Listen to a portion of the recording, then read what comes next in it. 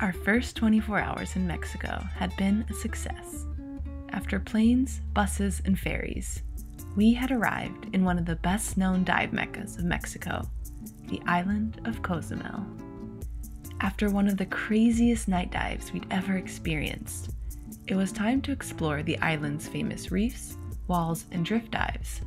And what better day to do it than on Women's Dive Day?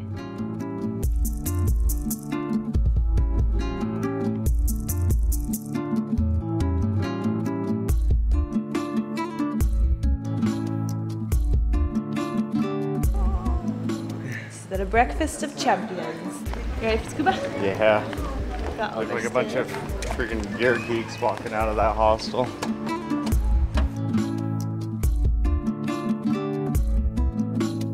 We got the whole gang loaded up and we're getting ready to head out for a couple of fun dives with a bunch of JP's friends. Say hello, ladies. Hello. Hello. Me llamo Valentina. My name is Anna. you guys excited for diving today? Yes, we're excited. Today is a special day. It's Women's Dive Day. Um, but for me, as a professional in the industry, as a female, um, I can definitely say that it is important that we celebrate this kind of stuff because I notice all the time that there's so many more men than women as divers.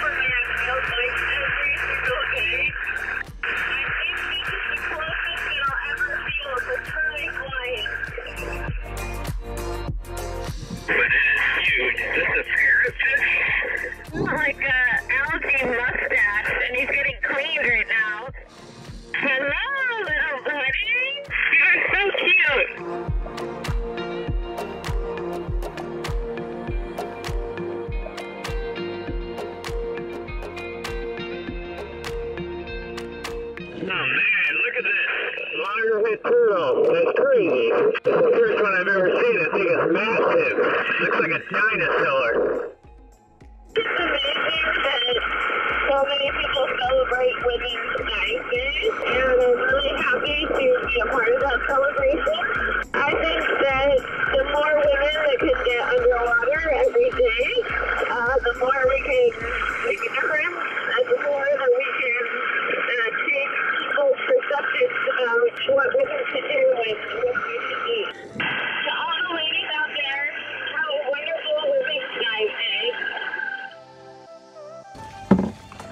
That was crazy. Was so cool. We were in the, what do they call the place where the hobbits are from? Oh, uh, the Shire. We were like in the Shire. I don't know all the terminology for the Hobbit, but we were somewhere pretty magical today, for sure.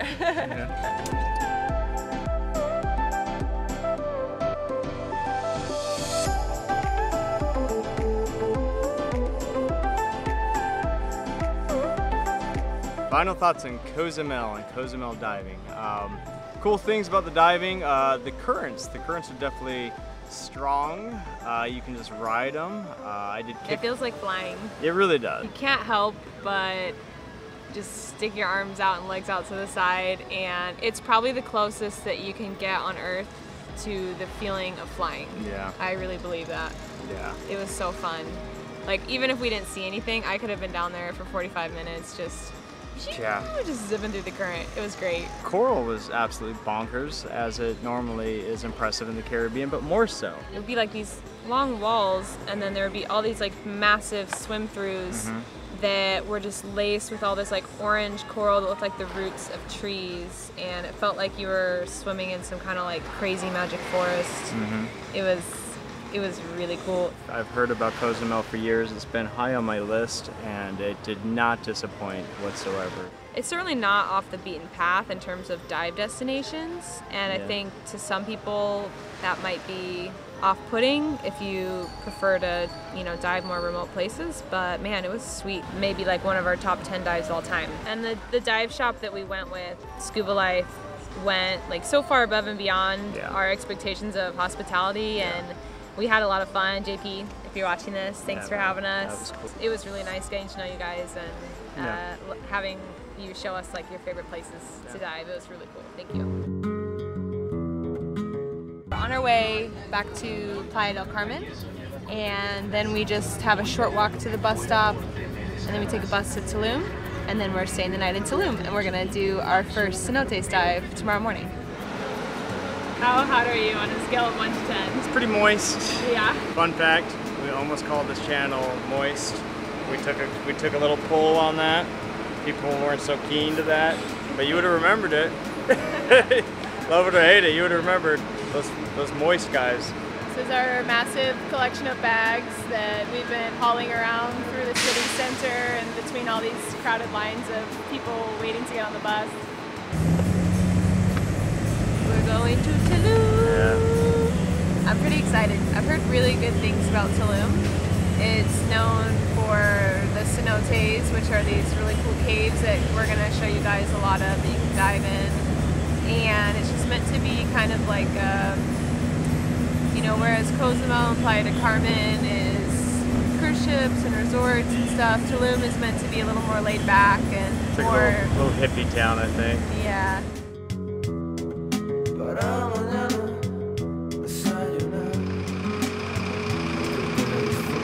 Enjoy that? Yeah. like Winnie the Pooh, I was getting. There it goes. It looks like I'm not doing anything, but it's because I set my bags down to film, but I already carried two bags up, so. We did it. A couple days in the hostel and knowing we're going to be in a van the next several days, we thought, let's splurge and get a $20 Airbnb. I know, it's crazy this place is only 20 bucks. This is our bed. Looks so big and comfy. And if that's not comfy enough, then you can find yourself a nice little spot in the hammock right there. Yes. Feels so good to lay down for a minute. So we have approximately seven minutes to just kind of chill out. And then um, some new friends are gonna come pick us up. There are these two dudes that own the camper van company that we're gonna be renting a camper van for uh, from for the next couple days. So they're gonna come pick us up, and we're gonna go grab some tacos and maybe a couple drinks.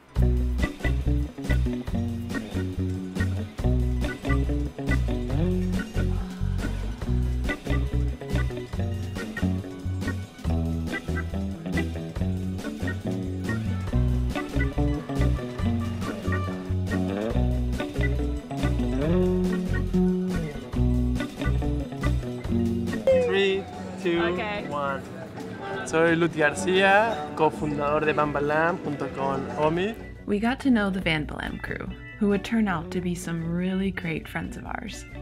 We grabbed a couple of Modelos and got the rundown on all the best spots to check out in the van, and got our first taste of Omid's amazing ability to make up ridiculous stories on the fly. So you can tell the age of a dog by uh, flicking its tooth, you know? Like if you flick the dog's like canine tooth, then uh, if it sounds like a B minor, then he's like two years old. If it's uh, if it's an F sharp, he's like five. Um, and anything like you know a G a G sus seven is like a, under a one, uh, you know, it's a baby. And if you get a, like a little wooden stick and you play the front teeth, and it sounds kind of like uh, Pachelbel in D minor, then it's like a, it's like an old dog. It's an old dog. You, need- you don't need to Bill be a vet. You don't We need to study regular- six years to thi- for this stuff. You know, you just need to have good ear. We were pretty beat from our sweaty day of travel, but we couldn't call it a night without checking out a spot called Batey's, which is probably one of my top five coolest bars I've ever seen. This place has perfected the art of the mojito, and instead of using simple syrup to sweeten it, they fresh press sugarcane in a converted VW bug right in the middle of the bar. So far, Tulum was shaping up to be a pretty special place, and we hadn't even gotten underwater yet.